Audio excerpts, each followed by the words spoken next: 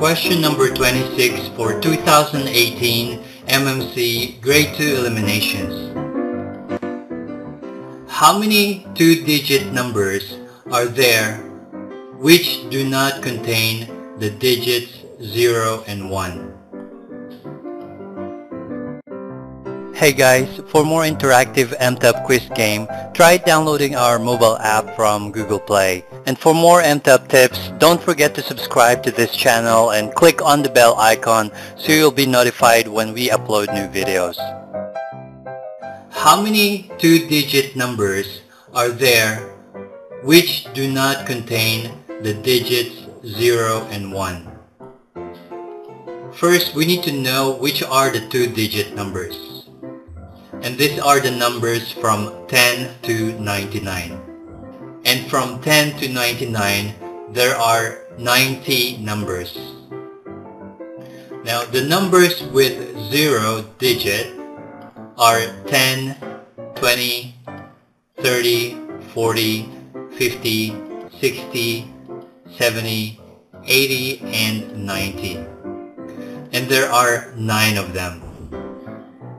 Now the numbers with 1 as tens place value supposed to start from 10 but we already counted 10 above with 0 digit. So we're not going to include that here anymore and we'll start from 11, then 12, 13, 14, 15, 16, 17, 18, and 19. And there are 9 of them. Now, the numbers with 1 as 1's place value. And again, we're supposed to start with 11, but we're not going to include that here anymore. So we're going to start from 21 and 31, 41, 51, 61, 71, 81, and 91. And there are 8 of them.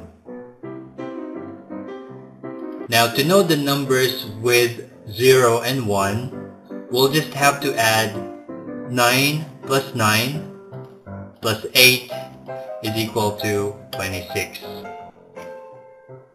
Now the question was, how many two-digit numbers are there which do not contain the digits 0 and 1?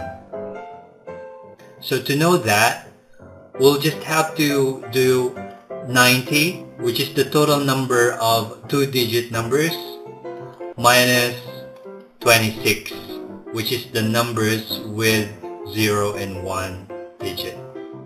And the answer is 64. There are 64 numbers that do not contain 0 and 1 digit. You can practice more with MTAP questions using our mobile app, which we added the download link in the description below. If you find this video helpful, please give us a thumbs up. And if you have questions, just add your comment down below. And for more video tips, just click on subscribe.